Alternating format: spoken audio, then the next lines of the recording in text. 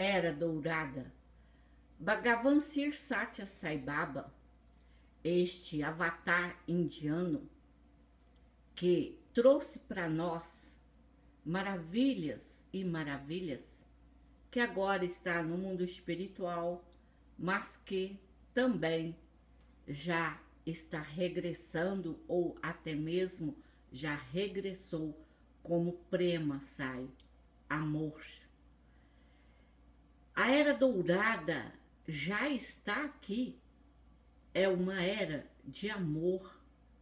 Por isso, Bhagavan Sir Satya Sai Baba reencarna novamente como amor, prema.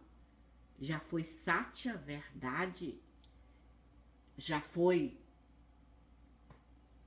é, Shanti, paz. Agora prema, prema, amor, amor, amor. Então, para nós estarmos na era dourada, precisamos vibrar no amor cósmico universal. Não é o amor apego à minha família consanguínea, não. É o amor universal, onde nós iremos vibrar positivamente para todos os seres. Porque, como diz Sai Baba, que todos os seres de todos os mundos sejam felizes, porque enquanto um padecer, nós estamos interligados e nós recebemos os impactos em nós.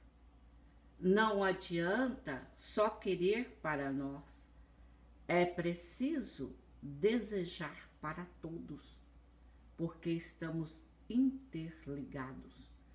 Não é por acaso que os avatar, os santos, os anjos, os mentores, todos os arcanjos estão a serviço de Deus Pai, de Deus Filho e de Deus Espírito Santo, para que o homem faça a sua reforma íntima, para que vibre no amor.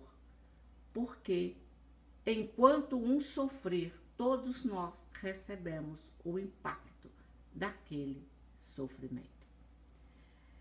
Que a paz, Shanti, Shanti, Shanti de Bhagavan Sir Satya Sai Baba, possa inundar as nossas almas e que nós possamos vibrar no amor cósmico universal. Gratidão, Bhagavan Sir Satya Sai Baba. Gratidão. Obrigada por você curtir, compartilhar e se inscrever.